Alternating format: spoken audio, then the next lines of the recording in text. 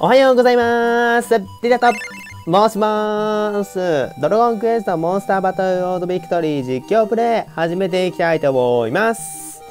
いやー2日休みなのにさ雨っすね。洗濯物がひどいっす。はい。ああとね4時半起きの仕事があります。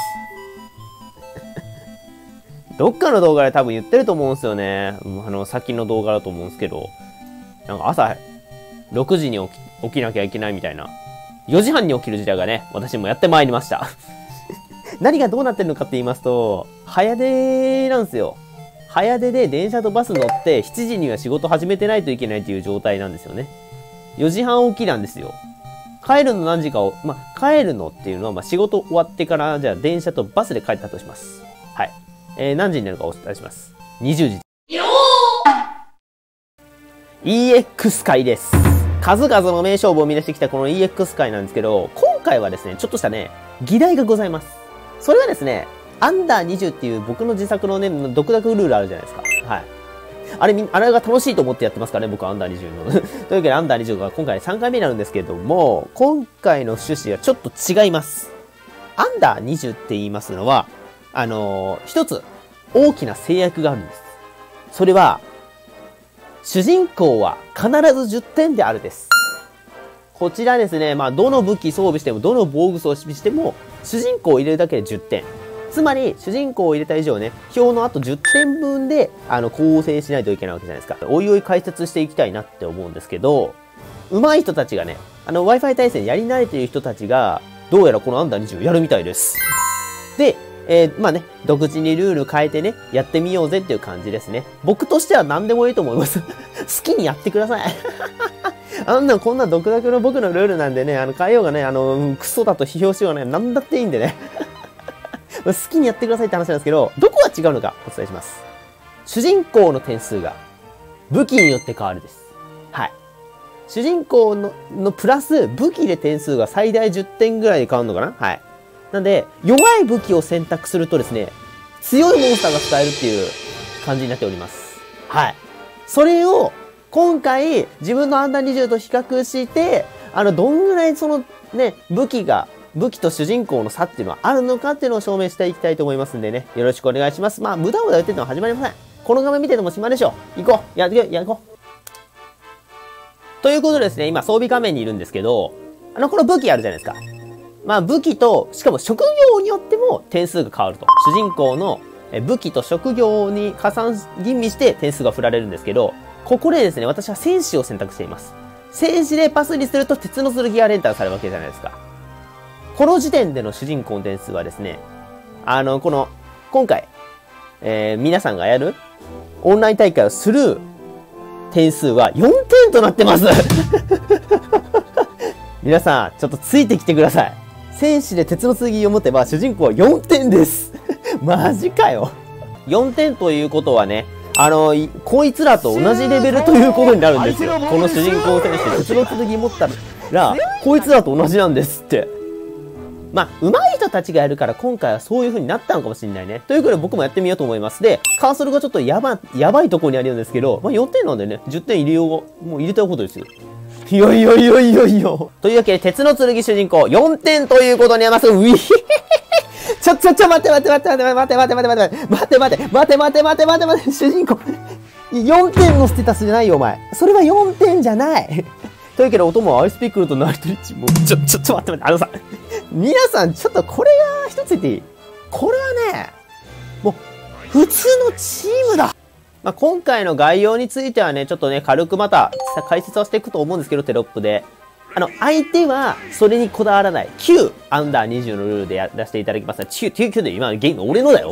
9も減ったくるもないわ。というわけで、相手はいつも通り、この前のね、アンダー20で出たね、あの、相手そのままとなっておりますんでね、はい。で、まあ、一匹側がね、鉄の剣のチャレンジャー。今回はチャレンジ企画みたいな本だね。チャレンジャー企画、鉄の剣主人公は本当に4点なのかということです。4点なのか？ちょステータスがバカみたいなことになってたけど。さあ、アックスレベルから入ってく？るピロリこれどう、大丈夫か？止まってない？オッケーオッケーオッケーオッケーオッケー大丈夫だ。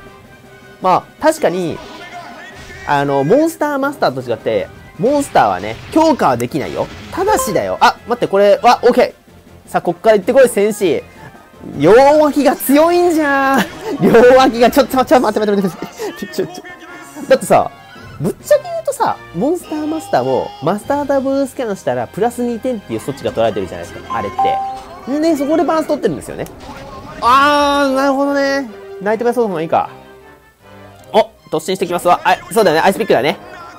あー、避けないね避けてほしいね。ちょっと一回、1ビロリはしてるけどね。さあ、来ました !4 点いけ4点いけ !4 点 !4 点 !4 点 !4 点じゃないよちょっと4、4点じゃないこいつ。こいつ4点じゃないちょ、お前4点じゃないと思うよ。俺、もお前嘘ついてる。お前嘘ついてる。わかんないよ、まあ。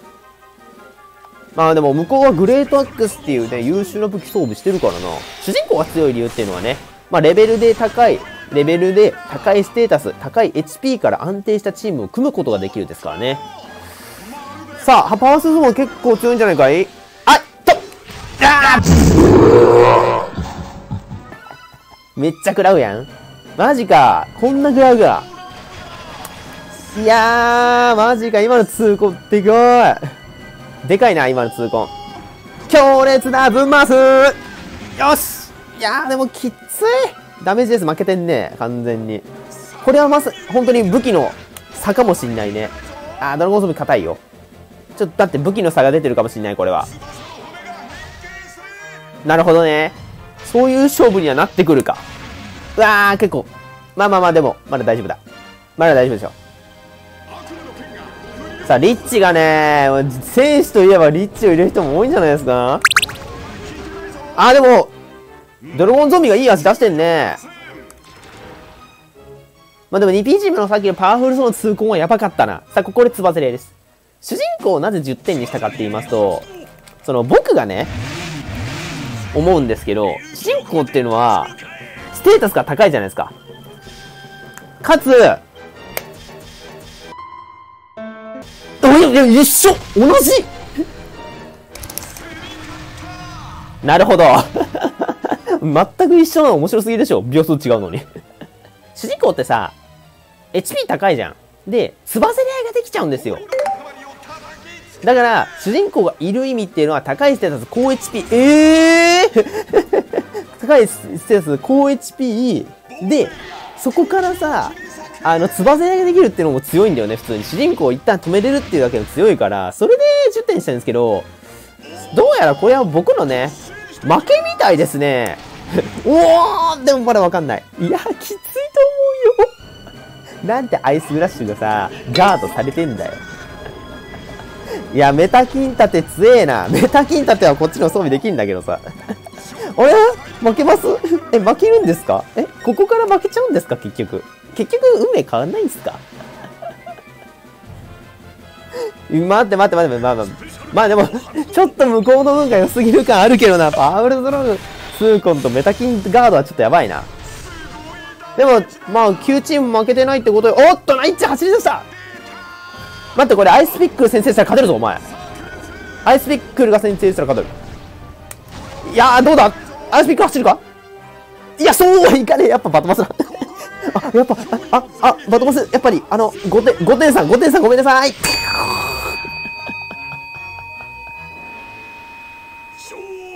まあ、あいつが強いわ。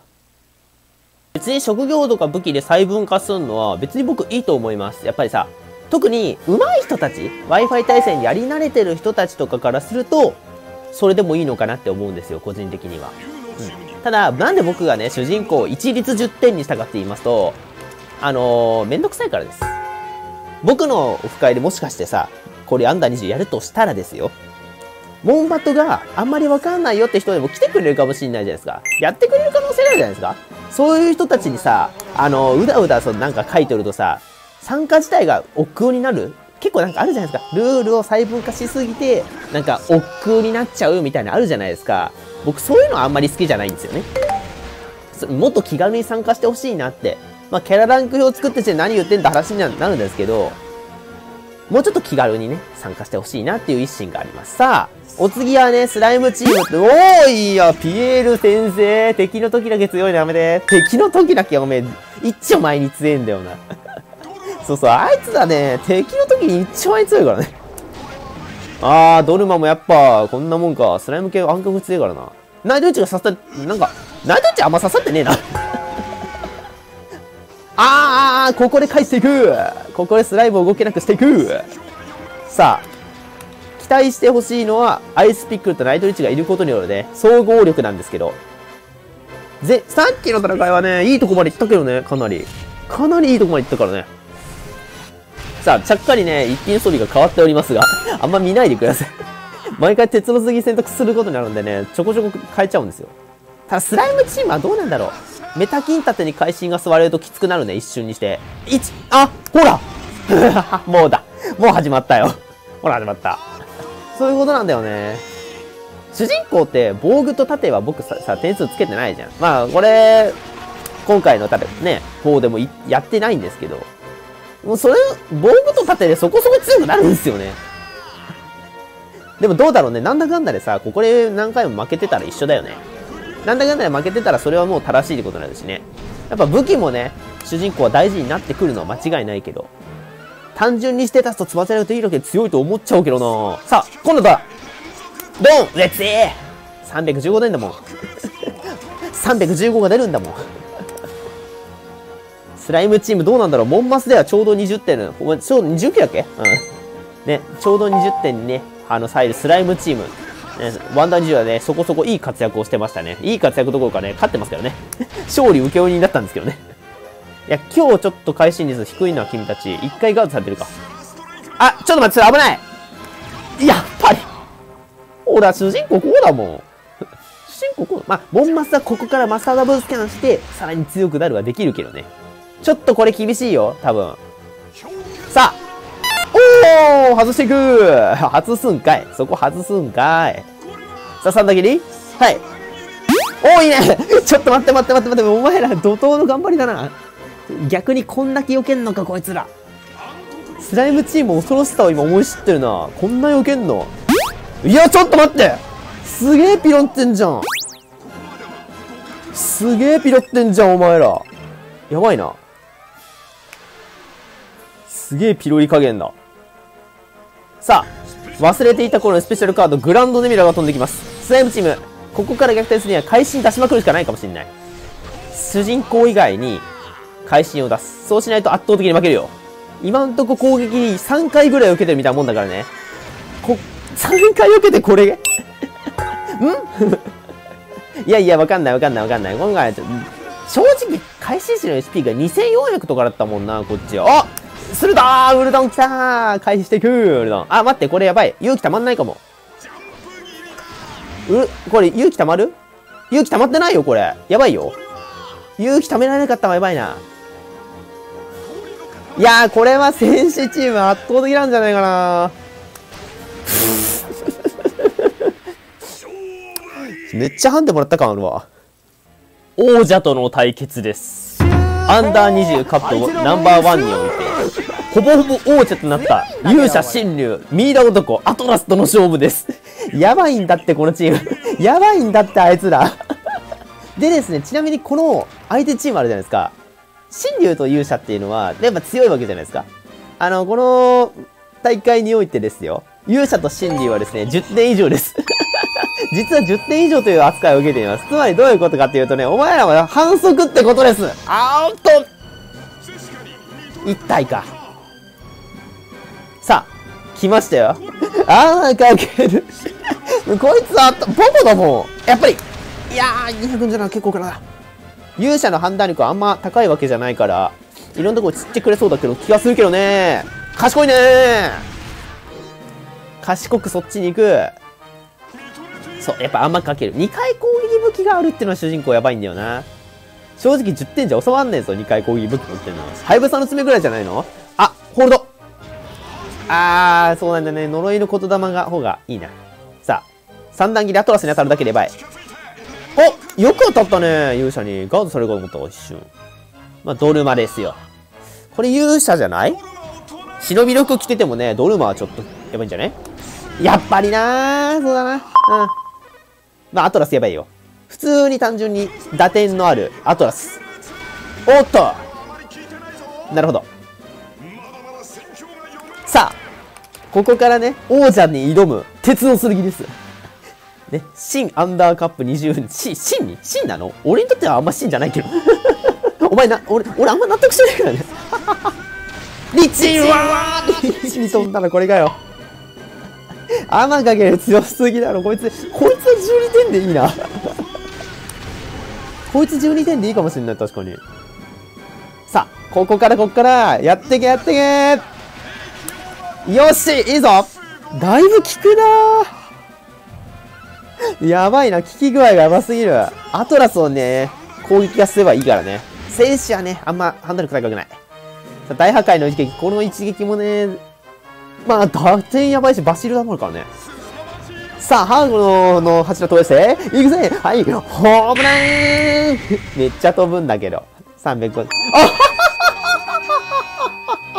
どこ行くの来たんで、そしてやってくるぞノイの言霊をシューターボールを相手のゴールにシュー !18、18! リッチがいるのか。リッチがいるからな、今回はな。打点が期待できなくなっちゃったね。いや、強い強い強い強い。強いぞさあ、アイスピックルが今回の戦いちょっと動けなさすぎなところはあるね。さあ、勇者のアマかけるがね、判断力に左右されます。アイスピックルに飛ぶとミスになりますんでね。主人公ガードそうだね、リッチも言う、ね、戦士も硬いからね、アイスピックルちょっと厳しくなったよ、打点が。主人公 !180! そして勇気回収ミスった おかえり。おかえり。まあでも、パッと見、有利に見えるけどな、やっぱ。単純にやっぱ武器をね、縛らないとここまで強えのか？またアイスピックルなんだけど。またアイスピックルなんだけど。おー、さすがに大丈夫だったか。オッケーオッケーオッケー。はい。よく当たったね、来たぜ、呪えること これ主人公も呪われちゃうからね。言霊を吐き出したシュートいや、19とかも打点がやばいんだけど。19、打点なんねえな。さあ。暗黒呪文トルマ。さあ、行きましょう。じゃあ、このまま決着するのか、それとも、やっぱりネビラが強いのかですよ。バシルダもしてるから、だいぶ、結構、まあでも呪われてはないね。うん。さあ、鉄の次主人公、王者奪還なるか？パファ効かなかったらでかいな、でも。これギガデンとかだったら終わってたか？このターンで決まる。お雨かける雨かけますか？雨かけますか？やっぱ。これワンチャンここで終わる説あるよ。ガード 縦が強い。縦が本体じゃねえんだから。どっかのさ、黒ブレやめろや。縦が本体になっちゃう。うおおえ終わっ最後はまさかこれで終わるの？なんやことだなシュートボールを相手のゴールにシュートちょっと向こうの運が良すぎる感あるけどな。パワフルドロースーコンとメタキンガードはちょっとやばい。な。グランドネミラが飛んできます。スライムチーム、ここから逆転するには会心出しまくるしかないかもしれない。鉄の次主人公、王者奪還なるか？パファ効かなかったらでかいな、でも。これギガデンとかだったら終わってたか？思ったんですよ。大体全部ネビア売ってるんですよ、こっち。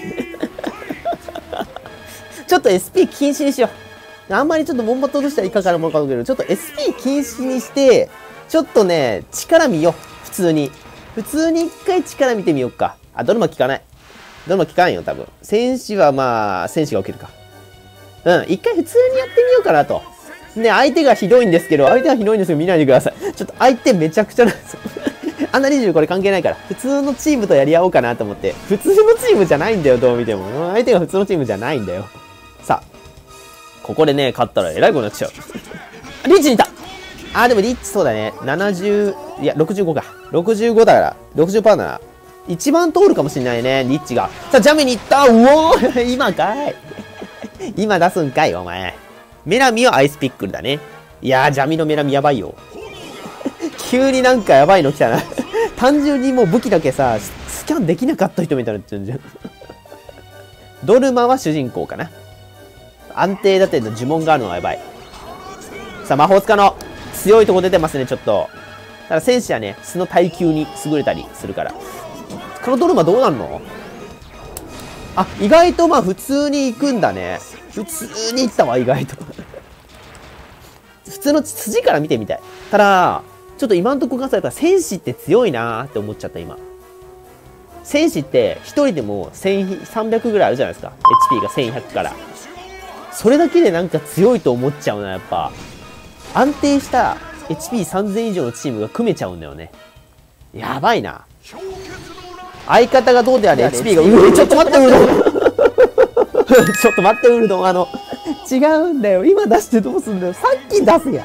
さっきから飛ばされたりさ、避けられたりしとったけどさ、お前、さっき出してくれ。会心ボコスがボコスが出てますけど、ちょっとウルドンさん。えらいことになってますよ、ちょっと。さあ、安定した戦いを繰り広げておりますが。魔法使いも安定してんね、打点が。かなり。だから、余計が入ってくると変わる。うー、420!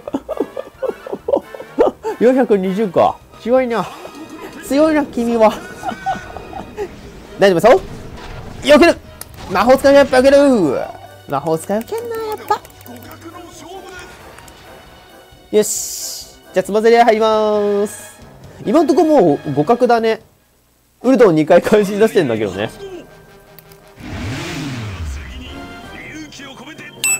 ええー、初めてじゃない？